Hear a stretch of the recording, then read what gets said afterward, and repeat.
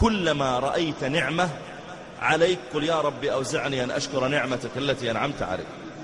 لما ترفع يدك بالماء إلى فيك قل ربي أوزعني أن أشكر نعمتك لأن غيرك ما يقدر يرفع يده بالماء. لما تصحى الصبح وتروح تمشي للمسجد قل ربي أوزعني أن أشكر نعمتك لأن غيرك معوق ما يستطيع أن يذهب إلى المسجد.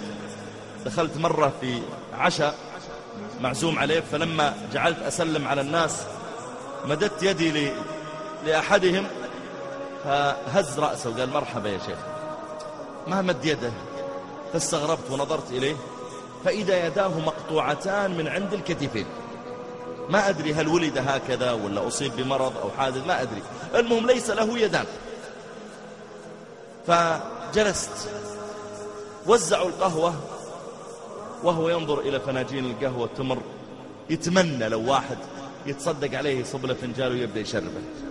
ينظر إلى التمر أطيب أنواع التمر بين يديه. يتمنى. لو واحد أخذ تمرة وحطها في فمه وبعدين لما يأكلها يضع يده مرة أخرى عشان يأخذ النواة.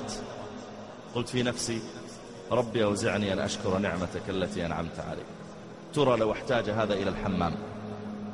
من سيذهب به؟ دخل الحمام.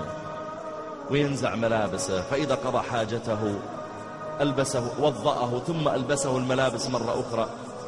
يا أخي إذا رأيت جسمك يتحرك كما تريد قل ربي أوزعني أن أشكر نعمتك التي أنعم إذا دخلت إلى الحمام وقضيت حاجتك قل ربي أوزعني أن أشكر نعمتك التي أنعمت علي دخل بعضهم على أحد الملوك فطلب الملك شربة ماء فقال له يا أيها الملك لو منعت عنك هذه الشربة بما تشتريها لو قيل لك ما نعطيك هالماء إلا لين تشتريه.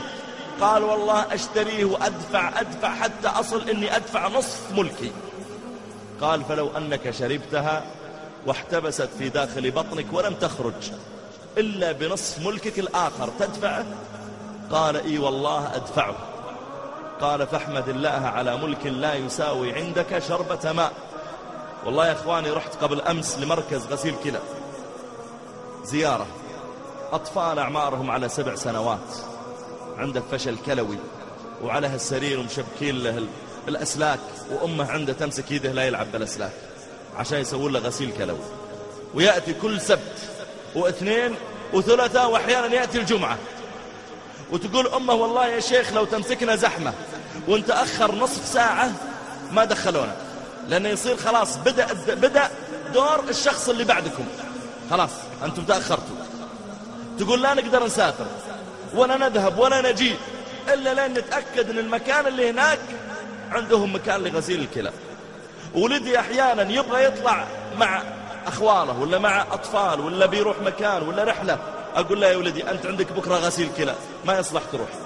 قلبت حياتك كلها أبو سبع سنوات وأنت تشرب الماء ثم تدخل دورة المياه وتخرجه قل ربي أوزعني أن أشكر نعمتك التي أنعمت علي.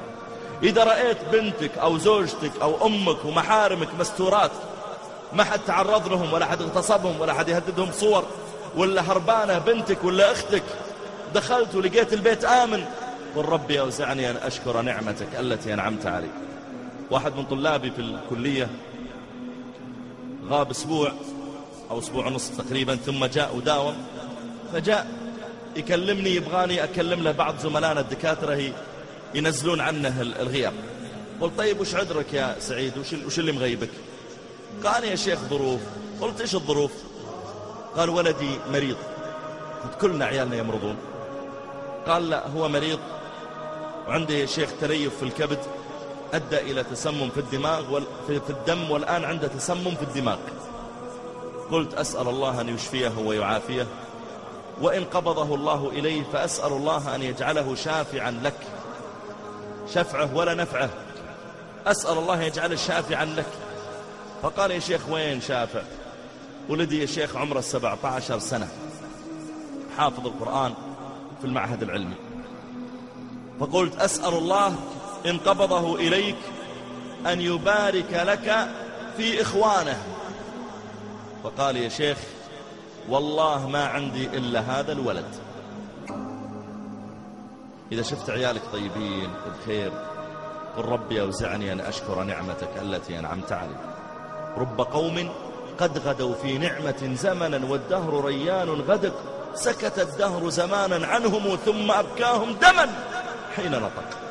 كم من إنسان أصبح صحيحا وأمسى سقيما أو أصبح فرحا وأمسى حزينا أو أصبح سليما وأمسى مصابا.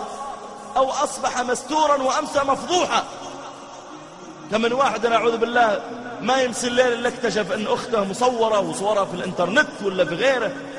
أحمد الله إذا رأيت نعمة قل ربي أوزعني أن أشكر. يا ربي ساعدني ووفقني أني أشكر نعمة السمع ونعمة البصر ونعمة اللسان